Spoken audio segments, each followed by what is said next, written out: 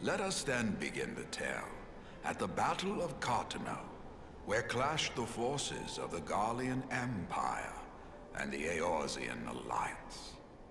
'Twas there in the sky above the surging armies that the elder primal Bahamut broke free of the Red Moon Dalamud.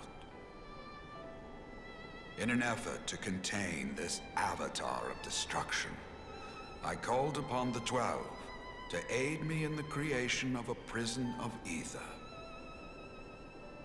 But Bahamut would not be caged by such feeble bars. Too vast was his might, too fierce his rage.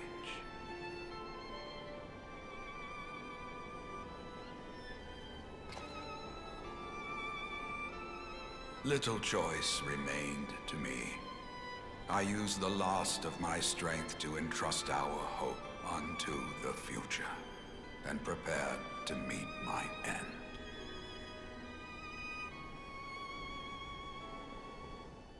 As you have no doubt surmised, I did not perish. When the cage built from the essences of the Twelve was destroyed, the sky was filled with a colossal cloud of ether. This drifting energy responded to the prayers of those fighting below, and to my own desperate wish that the dying realm be saved by infusing me with the power of a primal.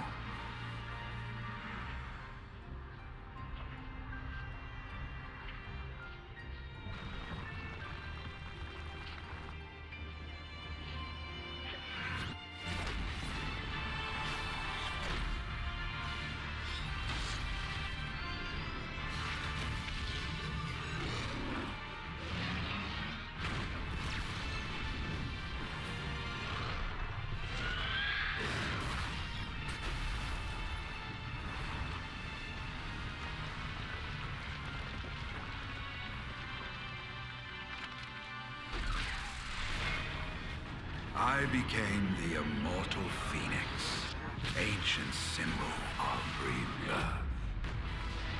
Rising into the sky, I struck Bahamut with all my newfound strength.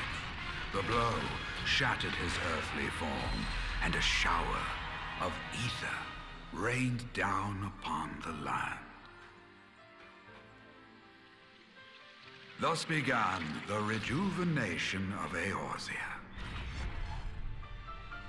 Believing the deed done, I relinquished my hold on that staggering energy, desirous that it should be returned to the realm without delay.